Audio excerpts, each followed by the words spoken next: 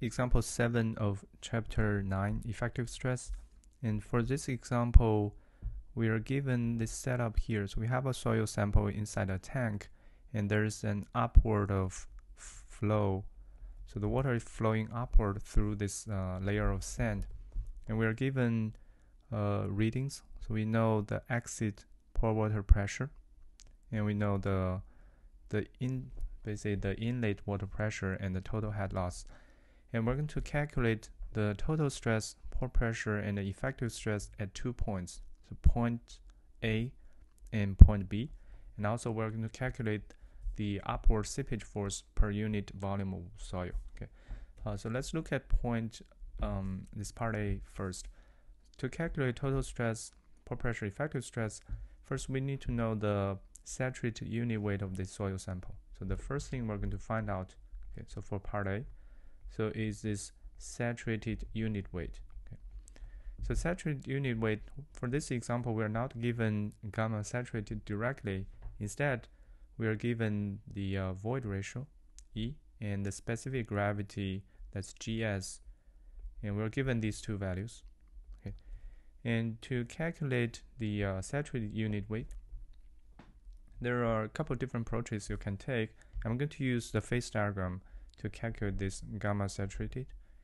And alternatively, you can use the relationship, that equation from your textbook that link gamma saturated to E and GS. So on the phase diagram, we have weight on one side and volume on the other side. And uh, I'm going to assume Vs is 1. So that's the volume of the solid. And since it's saturated soil sample, so we only have water and solid phases. And then um, given this volume of solids is 1 based on this assumption, and we can figure out the weight of solids. So that's GS unit, that's specific gravity times unit weight of water. Okay. And then we know the void ratio. So this volume of water basically is uh, E. So this uh, void ratio E. And then the gamma or the weight of water is uh, volume water times unit weight. So that's E times gamma water. And then using the basic definition, gamma saturated is total weight over total volume. And you have gamma uh, E gamma W plus GS gamma W over 1 plus E. Okay. So this is basically that relationship, that equation from your textbook which you can derive quickly from this phase diagram. And then if you substitute E of 0.25 and GS of 2.67, you get the uh, saturated unit weight of 20.59 and the unit is kilonewton per meter cube. Okay, so that's the saturated unit weight. Then let's look at this pore pressure, uh, total stress, pore pressure, and effective stress calculation at points A and B. So I'm going to use a new slide here. So let's look at point A first. So at point A. Okay. So point A, this is located one meter below the top of the soil layer. And so first the total stress. So the total stress sigma A. So total stress, remember, accounts for everything on top. So it accounts for the water and accounts for the saturated soil.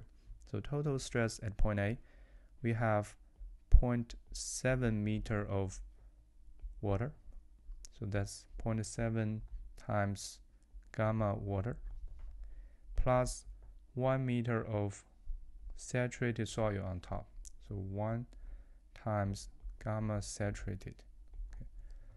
And if you plug in uh, these two unit weights, so 0.7 times unit weight of water in SI system 9.81 plus 1 times the um, unit weight of sand we just calculated is 20 20.95 okay. So the uh, total stress at point A is 27.46 kilonewton per meter square so that's a unit. And then pore pressure at point A so pore pressure at point A. So this is something we uh, derived, discussed in this uh, in the previous lecture. So basically we have pore pressure at point A is first part is the hydrostatic component. So that's basically the distance from A to this water surface. Okay, so that's 1 plus 0.7. Okay, so that's 1 plus 0.7. Then we have contribution from the seepage, from the upward flow of water. And this is what we derived in the previous lecture. So H over H2 times Z, okay, times unit weight of water. Okay. So in this uh, expression here, small h, so that's the total head loss. So for this setup, small h equals to 1.5. That's small h. And h2 is basically the height or the thickness of this sand layer. So that's h2. And for this example, h2 is 2 meters. And finally, that small z, small z basically is the distance from point A to the top of the sand layer. So that's small z. So now if you plug in those values, so we have 1 plus 0.7 plus small h is 1.5 divided by 2 times uh, z is 1. Okay. okay. Times unit weight of water 9.81. So that gives us the um, pore pressure at point A, which is 24.03 kilonewton per meter cube, a meter square. And once we have total stress and pore pressure, then effective stress at point A is simply the difference between these two, sigma A minus UA, and that is 3.43 kilonewton per meter square. Okay, so that is the uh, effective stress at point A. And then for point B, at point B, the total stress at point B includes, uh, again, that 0.7 meter of water above the soil layer. So 0.7 times unit weight of water, then times 2 meter of saturated soil on top. And if you plug in so this is 20.95 again. Okay. So if you plug in these numbers, the uh, total stress at point B 48.05 kilonewton per meter square. And then the pore pressure at B. Okay.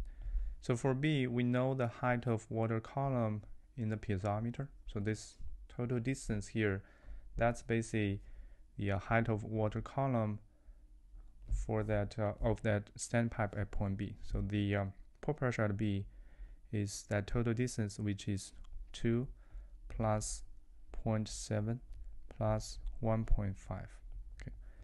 So that's a height of water column of inside that standpipe at B times unit weight of water. Okay, and this gives us 4 point, uh, 41.2 kilonewton per meter square. So that's a pore pressure at B and finally, the effective stress at B, again, difference between total and pore pressure. So that is 6.85 kilonewton per meter square. And then part B of this example asks for the upward seepage force per unit volume of soil. Okay, so the seepage force, so part B. Okay, so the seepage force per unit volume of uh, soil uh, we call that uh, I gamma W. So that's the seepage force per unit volume. And gamma W, of course, that's the unit weight of water. And this I is the hydraulic gradient. So this is a hydraulic gradient. And for this setup, it's that total head loss over total distance, so H2. So that's 1.5 divided by 2. So hydraulic gradient is 0.75. Okay, so this is the seepage force per unit volume. So you plug in 0.075 times unit weight of water 9.81. So we got uh, 7.36 kilonewton per meter cube. Okay, so that is the seepage force per unit volume.